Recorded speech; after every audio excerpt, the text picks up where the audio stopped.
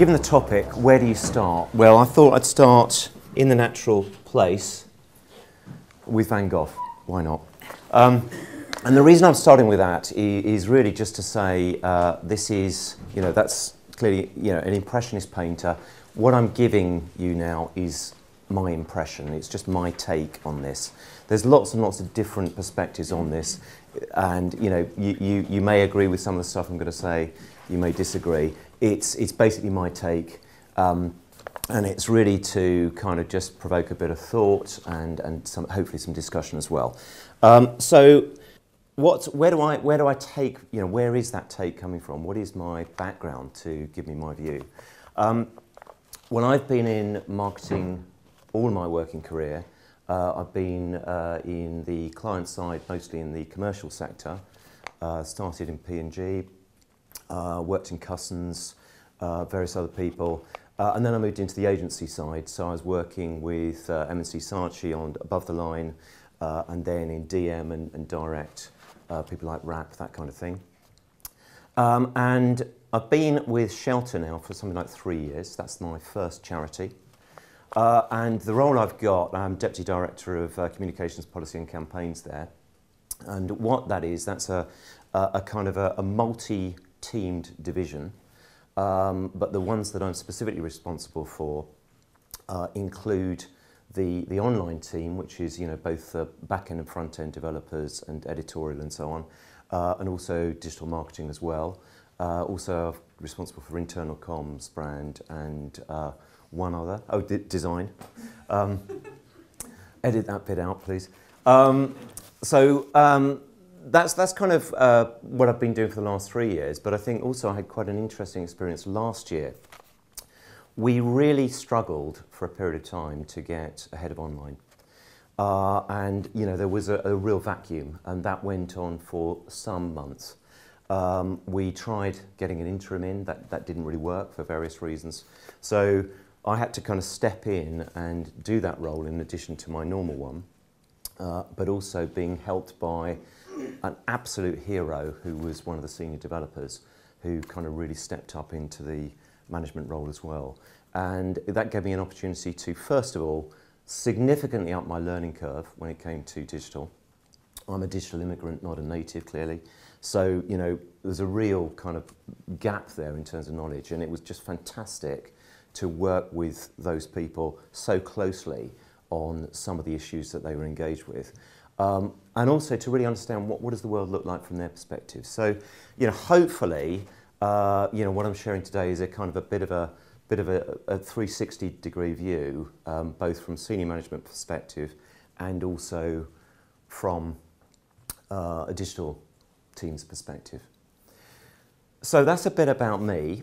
Um, what about you guys? And so I, I wanted to kind of get to know you a little bit more. So my question is this.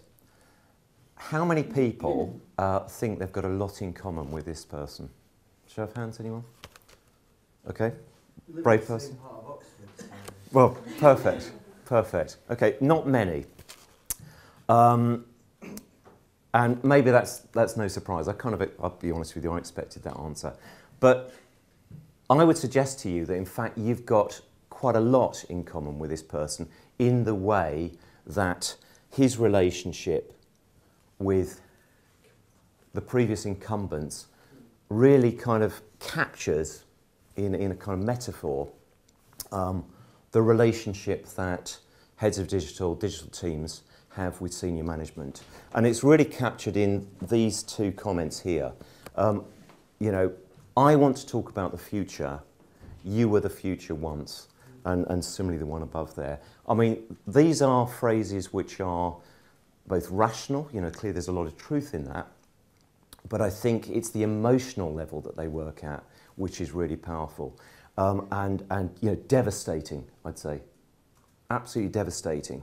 And it's, it's that kind of emotion that I really want to talk about. It's, it's, the, it's the, the kind of impacts, of the, the sort of emotions that are flowing in senior management, uh, which I think you need to think about as you navigate your relationships with them. Um, because, you know, you can get from management textbooks, all the rest of it, you can get all these uh, uh, various management techniques, you know, uh, how to do a strategic plan, whatever. I think really it's more about how you work uh, with emotions that, that counts. Um, and I think for me, you know, they act as barriers to what you're trying to achieve. So I'd say that in terms of senior management, the, you know, the kind of deadly emotions, the deadly sins, if you like, in, in the emotional space, which are really at work here, is, you know, the biggest one really is this one, fear. Pace of change. There is so much change in, in the digital sector. Uh, and, you know, what's quite fascinating, I suppose, is that, you know, uh, charities, they say they're up for change. That's what char charities want. But when it comes to senior management in charities, really quite conservative, and they're scared of it. And, and it's that lack of knowledge, that uncertainty. And I think what, what this does, it, it creates huge amounts of insecurity. And, and basically, um, because of the pace of change in, in digital, in, in, in the kind of um, opportunities and challenges you're bringing, they're worried. Is, is all of this undermining my experience? You know, I've invested X years of my working life to develop that. That is what my identity is all about. That's what my uh, talent is all about. What's go- you know, is that happening? Uh, I think also, you know, there's sometimes a willful ignorance going on. You know, do, do they really want to know? There's a pride. There's a pride which is kind of connected to that insecurity uh, about, you know, their management experience and, and, and uh, talent.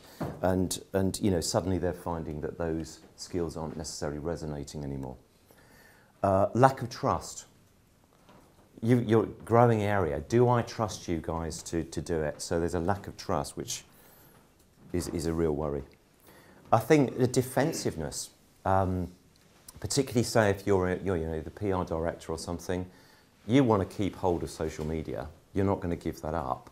Um, so, you know, there's, there's a kind of defensiveness around that um, and around, you know, similarly other traditional channels. Um, and, and maybe there's a resentment there. Maybe, maybe there's another metaphor which you could almost talk about father and son, you know, that passing the flame kind of thing. Um, so all of those things um, going on. So I think what that can sometimes lead to uh, is, is this kind of response and, and you know, various things that, that management might say. And, and one of the phrases that I did hear in a previous employer was, you know, about digital was basically, you know, same old shit, new channel. Um, in other words, they're trying to downplay this, this they're trying to be defensive, perhaps antagonistic, in fact. Um, but I think at the same time, maybe, maybe you know, we need to recognise, you need to recognise, there is some element of truth there. Not, not total, obviously, but some, something to think about. Uh, I think another one is just that desire to keep control. So let's keep this in the box. Let's keep the digital team as a commissioning team. And, you know, we're going to control them. Let's keep them in the box. Or they're going to fight for you guys because, you know, this is a, a medium where it's a power play and all the divisional directors want to get some of the action. And, you know, that's pretty divisive. Or alternatively, they, they're just so bloody scared of it, they just don't know what to do. Timidity, indecision. Yeah? So if you had to summarise all that, you might just say they just don't get it. And I think for a large, to a large extent, I think that's, that's true. There aren't that many people currently who are truly empowering it. Um, and uh, or, or, rather giving you the power to, to, to help you, you know, through that and to get the most from it. So I think for me, those are the things that are going on. So I think we can probably say then, you know, they're the problem, can't we? I don't believe that. Okay, well done. Because you're, you're absolutely right. I mean, the reality is that, you know, there are, of course, two in the relationship, aren't there?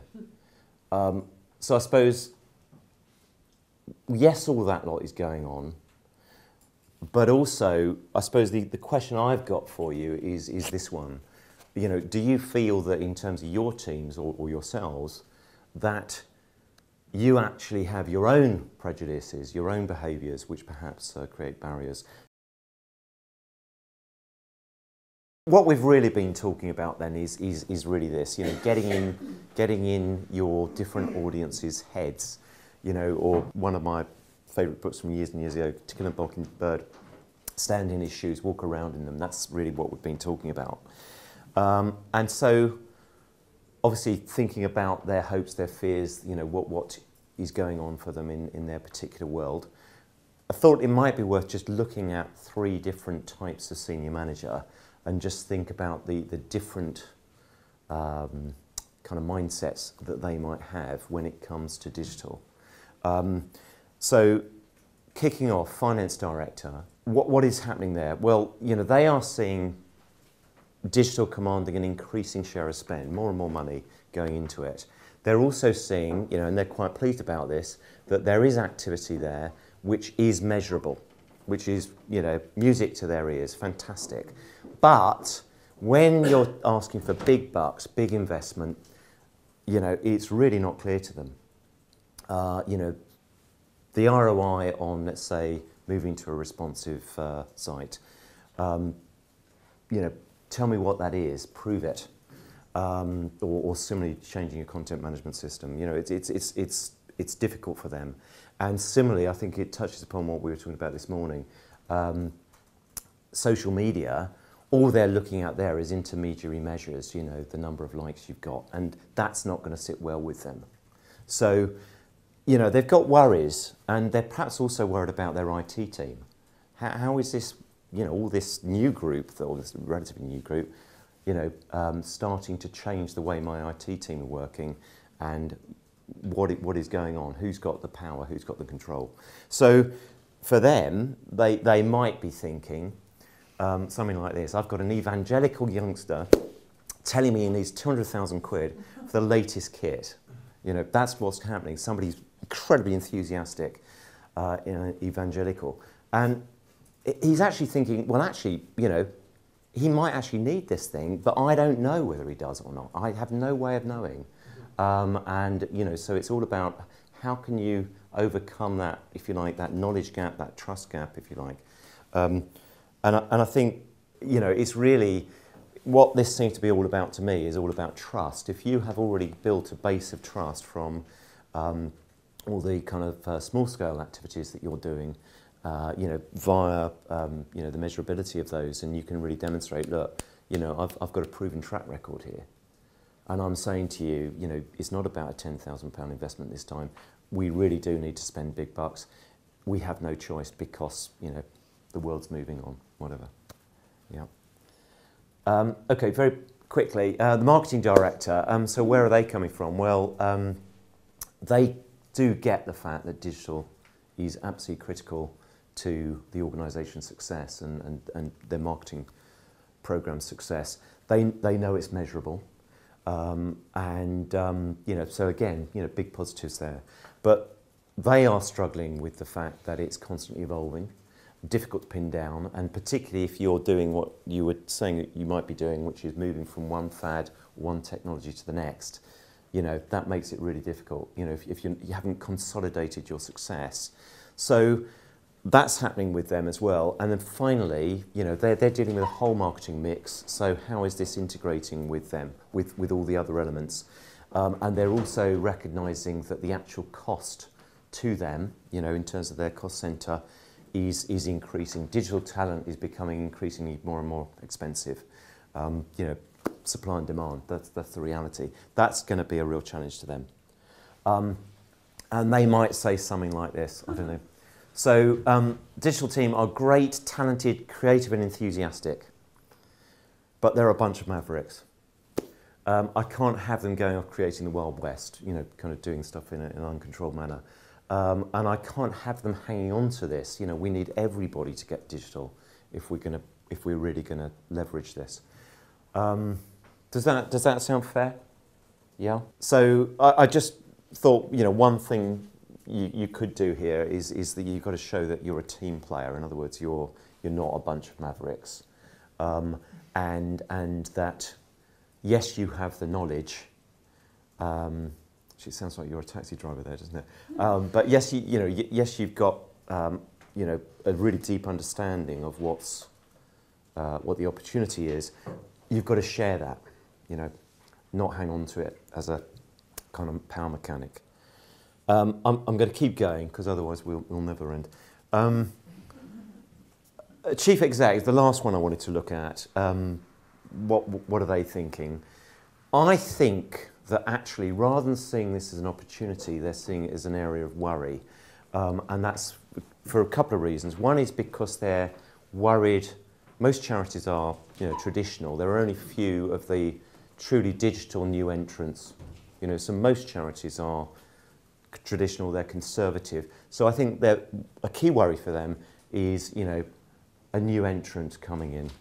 Um, and they'll have seen uh, Avaaz, you know, they'll have seen Charity Water and so on. Um, but also they're worried because they're seeing as a source of cross-divisional tension. You know, they're seeing a power play going on. And that is not good for a chief exec. Uh, and they tend to hate squabbling children, even if those children are their divisional directors. So that's going to be wor a worry for them. And also, this is an area which is taking more and more spend, you know? Um, so they are worried about it, but at the same time, they know it's critical to success. They know they've got to really be great in this area. Um, so, you know, maybe they're saying this. Uh, I don't have a clear view on where we're going. Um, do we have a joined up digital strategy? You know, do we even need one? And, and they'll be saying, you know, I, my senior management team aren't giving me the answers. Uh, and while the digital team seem really enthusiastic, yeah, how much of their plans fit with my bigger aims, my, my overall organisational aims? So, you know, is that what, what's going on for them? Um, and I think really what you've got to do is, is really connect your plans with the overall. It goes back to that pyramid that um, you were drawing earlier on. The, uh, the overall organisational objectives, you've got to connect those in, in your golden thread. You know, it's, it's got to be very clear. And also be that honest broker in the cross-divisional battles. Yeah.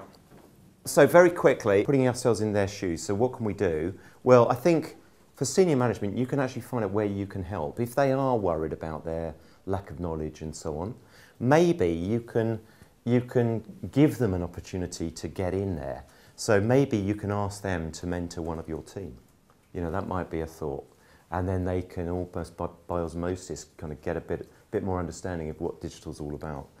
Um, gain their trust, you know. Um, so if they are the, it's the same old shit new channel brigade, you know, you could directly confront them, but why not instead say, okay, yeah, I can, I can see in these areas you're, you're right. You know, there are some parallels there. And we can take some lessons from the world of, um, I don't know, DM or, or above the line or whatever. Um, but also, you can then, once you've done that and you show you're open to that idea, you can also show where it isn't true and, and then build their learning on, on that. And, you know, be positive first, then be proactive. So, so, you know, that kind of thought. I think also you've got to recognise that, you know, you are going to be involved in petty politics. Charities, you know, having worked in the commercial space, charities are more political in terms of internal politics than anywhere else. Because in commercial arena, everybody's got the same currency. Uh, it's all about ROI. You know, two projects, one's got an ROI of this, one's got an ROI of that. It's easy. In the charity world, you don't have that opportunity. You've got one person saying, give me 100,000 and I'll get you an ROI of this. That's the fundraising director. Another person will say, give me 100,000 and I will help this many people. It's a totally different currency. And no wonder they're fighting. No wonder there's kind of party political, you know, internal politics going on. But, you know, you're the one who's the honest broker. You can bring them together. You can use evidence. You know, you can say, look, we, we've done this. We know which thing works where, blah, blah, blah. You can bring that to the party. Um, and I think also, you know, that, this final piece really, just, you know, given that we've got these different starting points, senior management and digital management, recognize the starting points and value those differences and just think, well, what do you bring and what do I bring? And, and value both of those things. Yeah.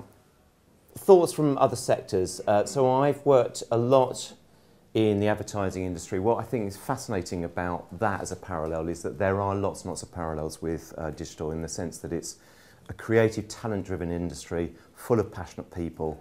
Um, and just like digital in a sense, you know, it's delivering means to an end um, and it's using skills that the client doesn't have. Um, so it's, it's quite common to what you're doing for your, if you like, internal uh, clients. Um, and I think the key lesson here for me is this one, uh, humility. Two, two, two kind of examples of that. Um,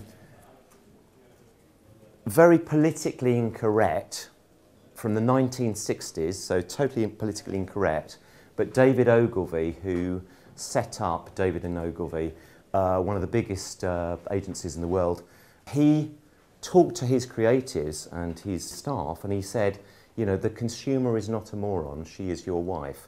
Now, politically incorrect now, but what he was trying to say was, you know, your, think about your audiences, they're not stupid. Yeah, that's, that's true of senior management. Um, M&C Saatchi, uh, similar kind of thing, Graham Fink, creative director there, he was basically saying to his creatives, um, you know, we are a factory. We're a factory of great ads. And he said, yes, be passionate, yes, be, um, you know, be uh, an advocate on the front foot, etc. Yes, uh, you know, protect your work and, you know, um, have the tough arguments with the client, but, but at the same time recognize, you know, that the client is, is ultimately buying whatever we are pumping out. So we need to also work with them and make sure we're making the thing they want. Yep. So that kind of thing. Yep. Uh, IT department, maybe again a parallel, similar, you know, they've gone from a kind of a, a, a kind of a transformation from uh, a little department slightly curious, beginning to spend more and more money. They are now very much a strategic driver, uh, you know, really trusted by the organisation. Um, and the way they've done that, I'd suggest, is that they started small. They sold the efficiency benefits. That's where IT started. Very much about you know ROI type arguments. They generated case studies. They they proved it. They became intrinsic to the the operations of the organisation. You can't do without IT now. And from there, they were able to get into strategy and gain a seat at the top table. I think the last one, the last one as a parallel, is actually our own sector as, you know, itself. I think, I think we can use these examples of how digital entrants are, are blowing these guys apart, existing charities, because they um, are looking at it from a transformational perspective, not purely from a you know, kind of operational perspective. So use these examples. I'm sure you're already doing it actually. I'm teaching you to suck eggs, but you know, use that with, with senior management and, and you, you're gonna, you know, you've got an in. Thank you very much. I've really enjoyed uh, that. I've got, as, as, I've got some learnings from you guys, so thank you very much.